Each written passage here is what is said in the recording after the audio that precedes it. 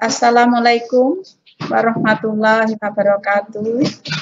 Uh, selamat siang anak-anakku sekalian yang berbahagia. Hari ini kalian bertemu dengan uh, ibu yang mengajar ya di kelas 8 di mana di kelas 8 ini ada dua guru. Kalau Ibu di kelas 8A sampai E. Kemudian dilanjutkan kelas 8F sampai 8K itu adalah Pak Firman. E, beliau berhalangan harusnya ada di samping saya. Nah, untuk perkenalan ini tentunya kalian karena sudah kelas 8 sudah menjadi satu kesatuan e, di SMP 1 tentunya kalian sudah kenal walaupun pada saat kelas 7 ibu tidak mengajar. Nah, karena kita menjadi satu keluarga, yaitu keluarga SMP Negeri 1, kita saling mengenal harusnya. Saling mengenal, saling menyayangi, walaupun tidak masuk di dalam kelas, ibu tidak mengajar, tapi tentunya anak-anak harus tahu. Namun, Sebagian yang tidak tahu, maka Ibu perkenalkan diri Ibu. Di sini ada biodata, kalian bisa baca. Nama Ibu, biasa anak-anak panggil siapa? Bu Lili ya, ya lama rumah saya ada. Kemudian e, Ibu pendidikannya adalah sarjana ekonomi, jadi SE dari Unmul. Mengenai keluarga, Suami satu, jangan banyak-banyak ya. Kemudian tiga orang anak, dua putra dan satu putri. Mungkin itu saja anak-anakku sekalian eh, yang berbahagia. Marilah hari ini kita eh, memulai materi IPS ini.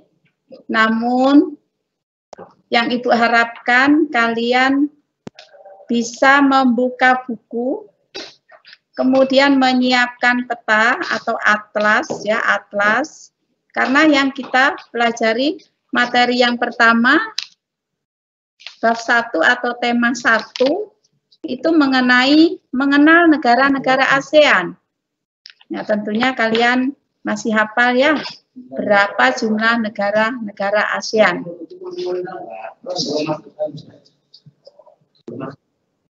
Nah, pertemuan kita yaitu pertemuan pertama, jadi nanti ada selanjutnya.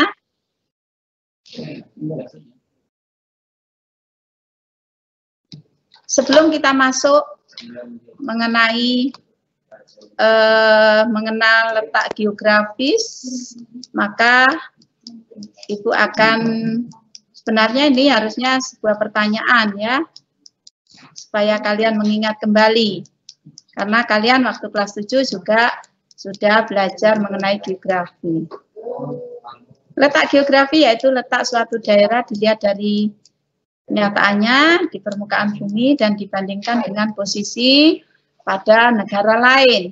Kita tahu bahwa letak geografis kita berbeda, apalagi antar negara. Indonesia saja, ya, jadi eh, pulau-pulau yang di Indonesia itu mempunyai perbedaan letak geografis. Ada dataran rendah, dataran tinggi, ada pegunungan. Nah, yang pegunungan ini tentunya awalnya sejuk, bisa ditanami apa, Nana? Sayur dan buah. Kenapa di Kalimantan ini buah seperti buah apel tidak ada? Siapa yang tahu? Apa jawabannya? Karena kita letaknya tidak di pegunungan. Sehingga apel itu bisa hidup kalau udaranya sejuk. Tanpa harus disiram pun dia udaranya sudah sejuk sehingga bisa hidup.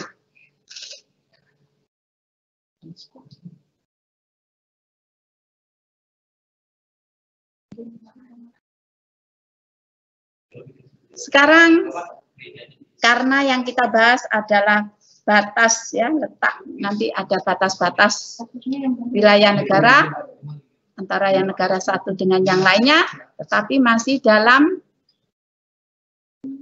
satu organisasi yaitu ASEAN Asia Tenggara. Indonesia masuk ASEAN? Masuk anak-anak ya. Jadi negara kita ini masuk. Bahkan negara kita salah satu penggagas atau pendiri dari organisasi ASEAN. Nah, di sini untuk memudahkan mata arah angin sangat mudah sekali. Mungkin waktu SD kalian diajarkan oleh Bapak Ibu guru untuk memudahkan ingatan kita buat aja tanda plus di mana kalau yang di atas selalu arahnya utara. Yang di bawah selatan, sebelah kiri adalah barat, sebelah kanan kita adalah timur. Nah sekarang antara utara dengan timur disebut apa anak-anak? Timur laut. Ya, jadi antaranya itu timur laut.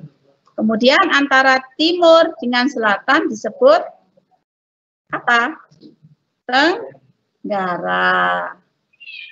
Antara barat dengan selatan disebut apa Nana? Barat daya. Sedangkan utara, antara utara dengan barat disebut barat laut. Paham? Sangat mudah bukan? Ya, kita sekarang memulai materi yang baru ini dengan arahan apa sih yang akan kita pelajari? Apa tujuan pembelajaran ini supaya kalian bisa apa? Nah, ini adalah tujuan pembelajaran. Yang akan kita pelajari supaya kalian tahu adalah menyebutkan nama-nama negara ASEAN. Kemudian menentukan letak negara-negara ASEAN berdasarkan geografis dalam peta. Karena pertemuan ini adalah daring, maka yang ketiga tugas kelompok belum bisa dikerjakan. Jadi tujuannya supaya kalian bisa menyebutkan, tahu mana saja negara-negara ASEAN. Kemudian menentukan letak. Letak itu adalah batas wilayahnya. Ya, berdasarkan negara-negara ASEAN. Lanjutkan.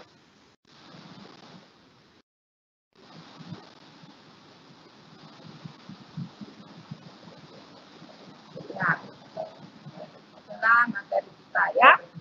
Letak geografis negara-negara ASEAN.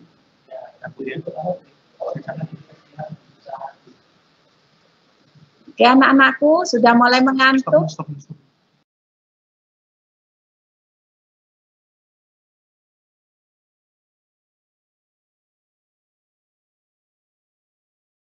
ya. Oke. Sekarang kita mulai masuk kepada letak geografis negara-negara ASEAN. Nah, ini adalah lambang ya, lambang ASEAN. Di mana lambang ASEAN itu ada gambar warna kuning, itu adalah padi. Ada 10 padi. Menandakan apa anak-anak kalau padi itu? Padi kan kebutuhan pokok untuk negara ASEAN ya bahan pokoknya makan kita padi berarti kemakmuran lambangkan kemakmuran sedangkan biru tulisan itu ya biru Itu melambangkan apa anak-anak kalau biru? Melambangkan apa birunya? Perdamaian. Makanya kenapa Indonesia membentuk organisasi bergabung menjadi organisasi anggota negara ASEAN. Ya, karena kita menginginkan suatu perdamaian. Ya, setiap negara harus damai. Supaya apa? Supaya tujuan setiap negara yaitu memenuhi kebutuhan ya masyarakatnya bisa terpenuhi dengan adanya organisasi ASEAN ini. Warna putih melambangkan kesucian. Ya. Jadi warna putih melambangkan kesucian. Sehingga lambang dari ASEAN diartikan sebagai kemantapan, ya, perdamaian, persatuan dan dinamika. Nah, ini ya. Jadi dinamika dari anggota-anggota ya ASEAN. Adanya suatu kemampuan ya untuk menciptakan perdamaian, persatuan dan dinamika. Jadi kalau ada perubahan, negara-negara ASEAN bisa berubah sesuai dengan peraturan. Biasanya akan mengadakan suatu sidang Ya. ASEAN didirikan atau eh, berdiri pada tanggal 8 Agustus 1967.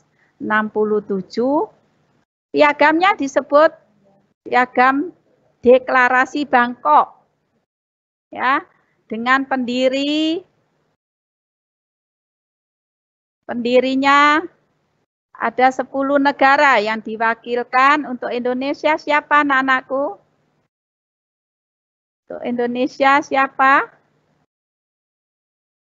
Ada Malik. Ya. Kemudian untuk Malaysia diwakili oleh Tun Abdul Rajak. Singapura Raja Ratman. Ya. Kemudian Filipina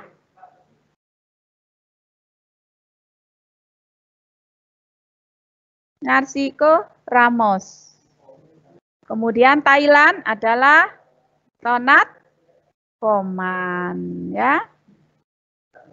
Nah, di sini nanti Ibu akan menjelaskan masalah batasnya anak-anak ya. Jadi uh, untuk pembahasan kalau misalnya kalian ingin tahu warna bendera, mata uang, lagu kebangsaan, hari kemerdekaan itu akan dibahas selanjutnya bukan pada materi ini. Jadi pada materi ini hanya batas dengan pengertian dari uh, dibentuknya ASEAN ya. Nah, ini adalah peta kawasan ASEAN. Jadi ada 10 ya. Maaf tadi belum saya jelaskan ya. Jadi kawasan ASEAN ada 10 kok cepet banget ya ini. Nah, Nah, ASEAN berdasarkan tadi eh, petanya berada di antara dua benua dan dua samudra, yaitu benua Asia dan benua Australia, di mana Indonesia juga letak geografisnya di antara dua benua dan ben dua samudra. Kenapa? Karena Indonesia termasuk di dalam wilayah ASEAN, Asia Tenggara. Ya. Nah, ini secara keseluruhan. Ya, di dalam sini ada letak negara ASEAN-nya.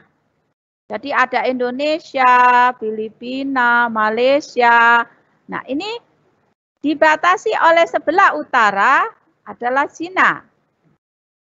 Sementara sebelah barat adalah yang barat ya.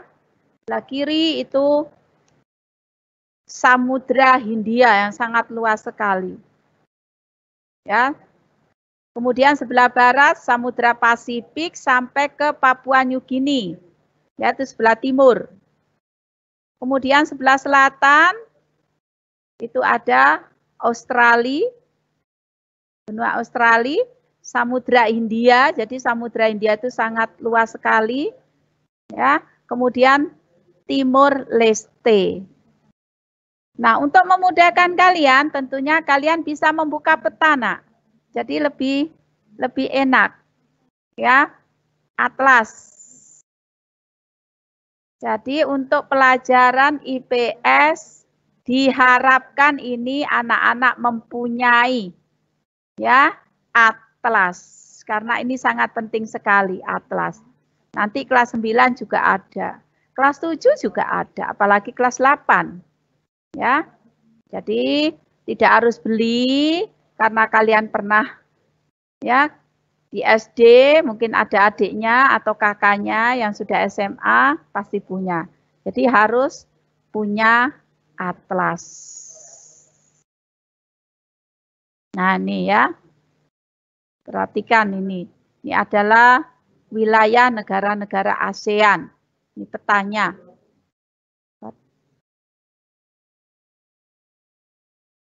Negara Indonesia. Letak geografisnya, batas-batasnya sebelah utara, utara atas ya. Kita berbatasan dengan Malaysia. Jadi Malaysia itu dekat sekali dengan Indonesia. Dekatnya dengan mana, Bu? Dengan Pulau Kalimantan. Jadi kalau kita berada di sini di Kalimantan sangat dekat untuk ke Malaysia. Singapura, Filipina dan Laut Cina Selatan paling atas ya. Kemudian sebelah barat adalah Samudra Hindia. Kalau kita kembalikan lagi ke atasnya ya, Samudra Hindia ada ini ya. Nih. Mbak bisa dianu ya kalau ya. Samudra India, kemudian sebelah timur, timur ya, paling timur itu adalah Papua New Guinea, Samudra Pasifik, ya. Kemudian sebelah selatan, ya, selatan itu Indonesia dan oh. Sebelah selatan benua Australia di bawah dengan Samudra Hindia. Ya. Kita lanjutkan dengan Letak geografis negara Malaysia. Sebelah utara berbatasan dengan Laut Cina Selatan, sama dengan Indonesia, karena Malaysia dekat sekali dengan Indonesia. Ya. Sebelah barat Indonesia dan Selat Malaka. Kemudian sebelah timurnya timur ya. Kanan Filipina, Laut Cina Selatan ke atas, kemudian Laut Sulawesi karena e, ada dekat dengan Pulau Sulawesi. Kemudian sebelah selatannya adalah Indonesia dan Singapura. Kemudian negara Filipina. Tadi petanya ya, Filipina.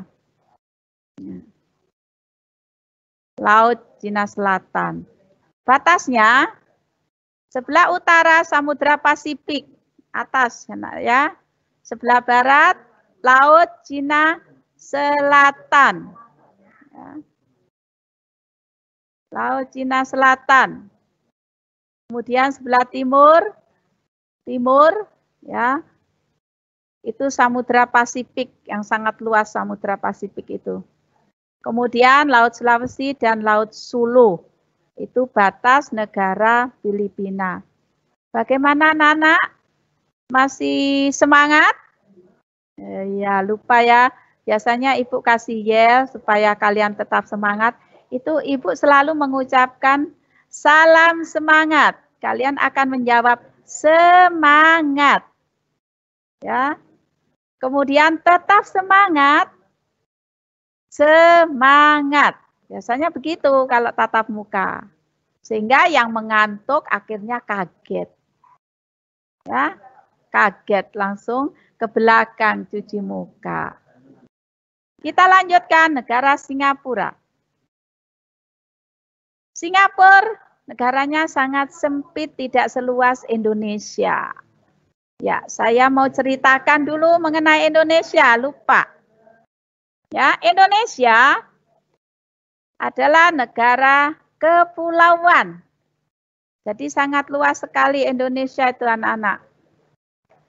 Dibandingkan dengan Singapura. Ya, negara kepulauan, banyak sekali pulau-pulau yang kecil. Ya, pulau-pulau yang kecil. Singapura sebelah utara Selat Johor, sebelah barat Selat Johor karena memanjang ya selatnya. Kemudian sebelah timur yaitu berdekatan ya selatnya adalah Selat Singapura. Sebelah selatan juga Selat Singapura. Ini Thailand. Negara Thailand. Thailand ini negara pertanian. Ya, jadi kaya dengan beras ya pertaniannya. Jadi gini ya. Batasnya sebelah utara Myanmar. Myanmar kalau dulu disebut apa? Burma. Ya. Sekarang menjadi Myanmar. Sebelah barat Myanmar, sebelah timur Kamboja dan Laos. Sebelah selatan Malaysia dan Teluk Thailand. Bagaimana? Masih bisa dilanjutkan? Iya. Kalau kurang paham, kalian bisa membuka buku paketnya. Bisa cari. Ya, bisa di-download tidak usah banyak-banyak downloadnya, sedikit-sedikit saja. Sesuai dengan materi yang akan diajarkan. Mungkin satu bab dulu. Di-download. Kita lanjut. Nah, ini Brunei. Brunei Darussalam. Brunei Darussalam adalah negara yang kaya ya kaya dengan apa sumber daya alamnya terutama minyak bumi ya terutama minyak bumi Brunei Darussalam penduduknya masih sedikit ya dibandingkan dengan Indonesia jadi tingkat perekonomiannya sangat tinggi ya sangat tinggi Brunei Darussalam, ya ibu kotanya Bandar Sri Begawan. Ya, jadi nanti akan ibu lanjutkan ke materi berikutnya itu mengenai identifikasi karakteristik setiap negara-negara ASEAN. Jadi nanti kalian tahu lambang negaranya, benderanya, mata uangnya, hari kemerdekaannya, dan lagu kebangsaannya. Namun untuk materi ini, Ibu tidak menjelaskan itu dulu karena materinya sangat banyak. Ya, anak-anakku, kalian harusnya membuka peta supaya lebih jelas. Nah, ini Vietnam. Ibu kotanya Vietnam mana? Tidak tahu Bu, belum melihat. Ya, tidak apa-apa ya. Nanti Bu, kalau sudah ini kita lihat, kita belajar bareng. Mudah-mudahan COVID ini cepat berlalu, kalian bisa belajar bareng dengan teman-teman, dengan menghafalkan nama-nama, ya. Biasanya kita akan buat suatu permainan supaya kalian lebih mudah menghafalkan nama negara, nama ibu kota, nama mata uang, ya, supaya lebih mudah dengan menggunakan suatu permainan game. Ya, Mudah-mudahan kita berdoa supaya COVID cepat berlalu, kita bisa bertemu, ya, bisa tatap muka, bisa belajar sambil bermain, tidak membosankan. Kalau belajar dengan ini, kalian pasti bosan. Mungkin ada yang tidur. Ya, ada yang tidur ini mungkin. Ngantuk, Bu. Hanya mendengarkan. Kalian buka sambil dibuka bukunya. Ya, kalau yang sudah mendownload. Kalau yang punya atlas, dibuka atlasnya. Ta ya. Selanjutnya Burma ya atau Myanmar. Nah, jadi Myanmar ini dulu dulunya Burma ya, sekarang sudah diganti Myanmar. Karena ada perbedaan ya supaya bisa nasionalis jadi tidak non, tidak ada istilah non, ya, maka negaranya diganti dengan nama Myanmar. Sebelah utara adalah Tiongkok, ya, Cina. Sebelah barat Teluk Benggala. Sebelah timurnya adalah Laos dan Thailand karena dekat jadi berbatasan tuh. Sebelah selatan Laut Andaman. Ya, Nah, ini ini adalah petanya anak-anak Vietnam ya. Kemudian kita ke negara Kamboja. Ya, negara Kamboja. Ibu kotanya mana? Kamboja. Phnom Penh. Ya, mata uangnya Ri ya. Nah, jadi ini batas-batasnya. Sebelah utara Thailand dan Laos. Sebelah barat itu Thailand. Sebelah timur adalah Vietnam. Dan sebelah selatan Laut Cina Selatan. ya. Kemudian Teluk Thailand. Ini gambarnya, gambar petahnya.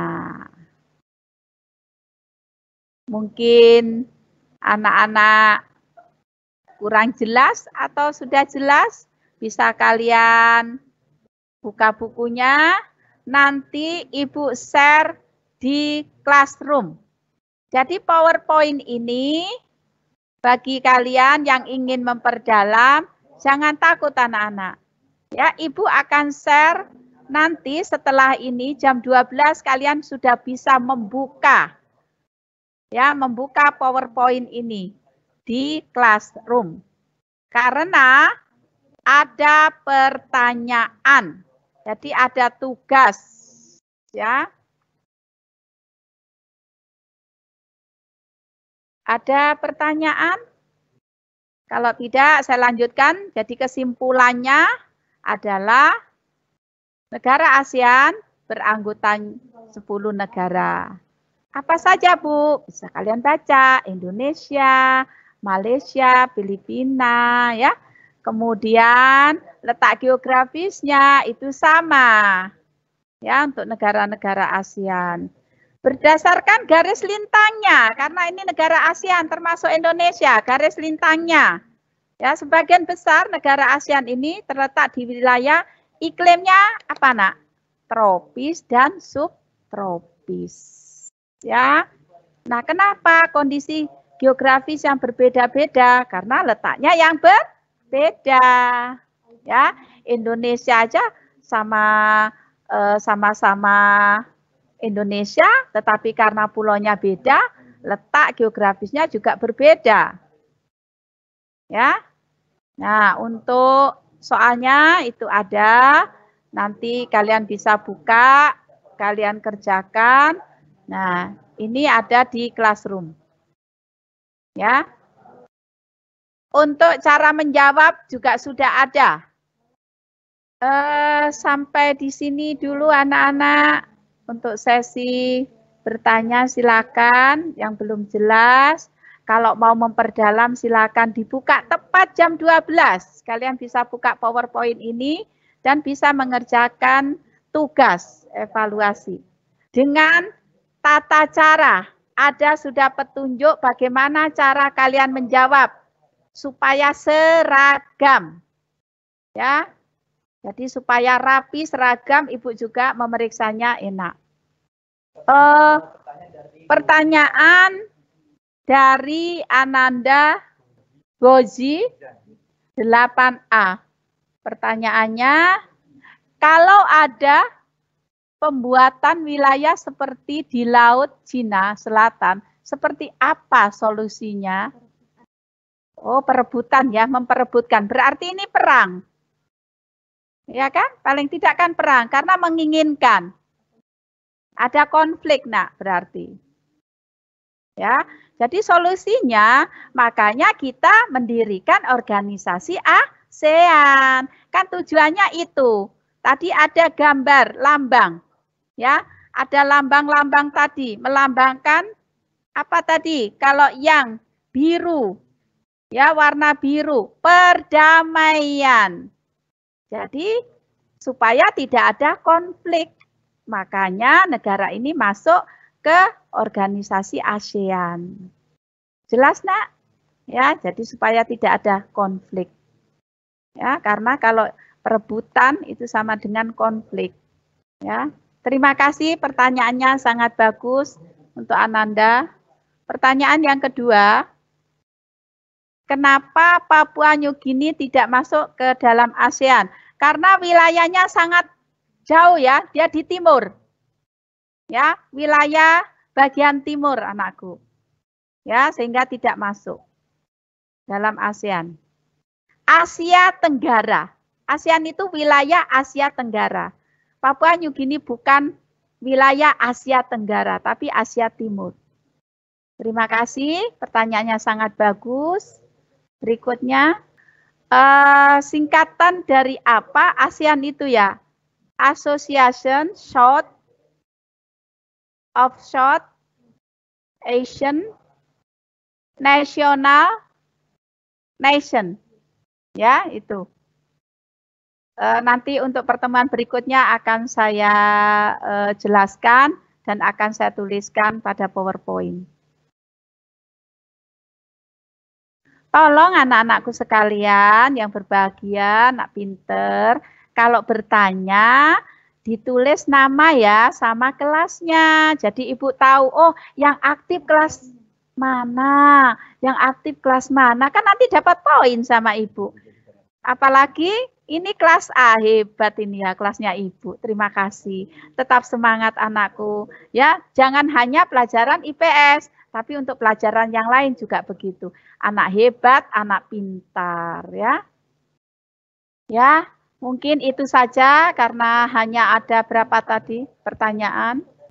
Oh, ada yang ngantuk ya? Aduh, kasihannya. Jadi Ibu dikira penyanyi ya tadi ya? Siapa yo yang ngantuk tadi?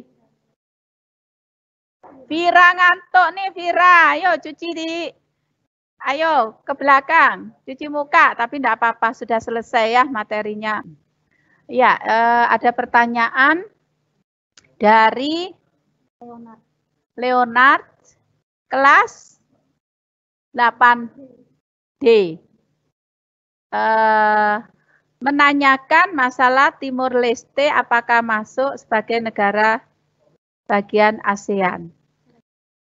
Secara geografis iya nak, tetapi karena uh, tingkat perekonomiannya ya negaranya itu masih di bawah, kan ada batas itu ya, batas uh, apa batas pendapatan ya pendapatan daerah ya pendapatan negara itu masih di eh, masih di bawah masih rendah maka tidak dimasukkan. Ditangguhkan ya. Jadi ditangguhkan mungkin nanti kalau sudah meningkat perekonomiannya maka bisa masuk. Memang ada yang mengatakan 11 negara termasuk Timor Leste ya tetapi secara eh, secara ekonomi belum memenuhi syarat. Ya nak ya. Terima kasih pertanyaannya sangat bagus. Ya, dari 8C Jen, pertanyaannya apakah tujuan dibuatnya ASEAN selalu untuk menghindari konflik? Betul, nah iya. Kan tujuannya. Oh, selain menghindari konflik, tujuannya ada kerjasama, ya karena ada kerjasama untuk memenuhi kebutuhan, kemudian juga kerjasama itu banyak sekali. Misalnya dalam bidang pendidikan, kita kan tuh e, pertukaran pelajar tuh, ya e, ada. Kemudian juga di sini ada beasiswa Ya, jadi setiap negara itu memberikan beasiswa juga untuk negara lain supaya pendidikan itu maju. Jadi untuk pendidikan, untuk kesehatan, ya, untuk kesehatan, apalagi untuk pangan. Ya, Nak ya. Jadi itu tujuannya. Tidak hanya untuk menangani masalah konflik. Ya, dengarkan ya, dengarkan baik-baik. Anakku sayang, anak yang pinter. Semuanya pinter nih. Ya, Ibu minta satu aja menyebutkan batas wilayah Indonesia aja. Negara kita ini loh. Ya Indonesia coba. Siapa yang bisa menyebutkan batas-batas wilayah negara Indonesia? Sebelah utara berbatasan dengan ayo. Mana? Bisa ditulis? Ya. Siapa yang menjawab?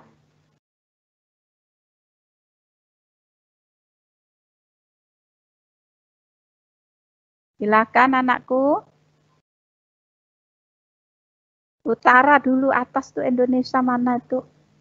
Jelas sekali itu.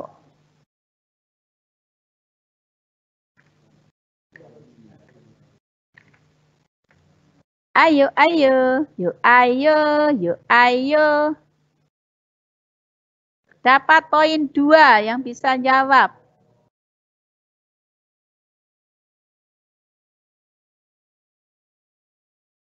Indonesia, nak. Anak pinter, ayo kelas A, B, C, D. E. Ini kan anak pinter-pinter semua ini. Ayo buka atlas. Buka petanya, nak. Tak petanya.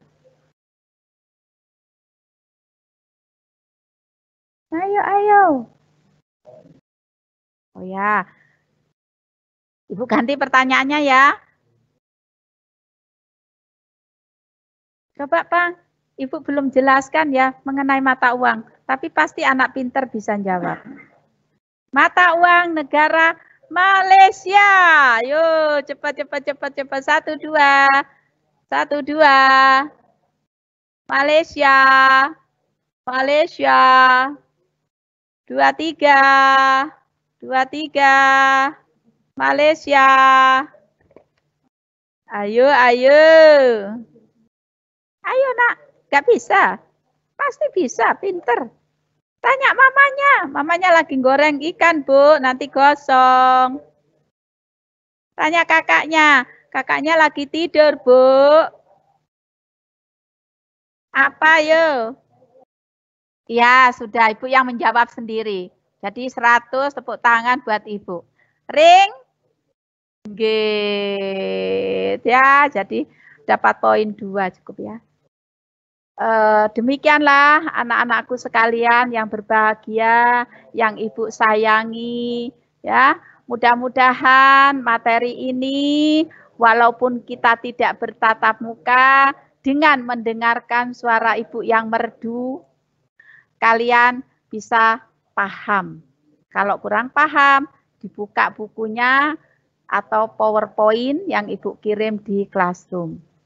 Kurang lebihnya, ibu mohon maaf. Dan ibu akhiri, wassalamualaikum warahmatullahi wabarakatuh. Selamat siang anak-anakku sekalian. Salam semangat. Jawabnya apa? Semangat. Ya, jadi semangat. Tetap semangat. Terima kasih.